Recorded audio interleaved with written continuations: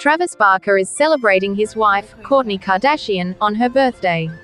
The reality star turned 44 today, April 18th, and her hubby took to Instagram with a heartfelt series of home photos and videos to honor her. My soulmate. I'm so grateful that today you were born, he began the sweet caption. You deserve everything your heart desires. Nothing makes me happier than seeing you smile. You stole my heart the moment we met.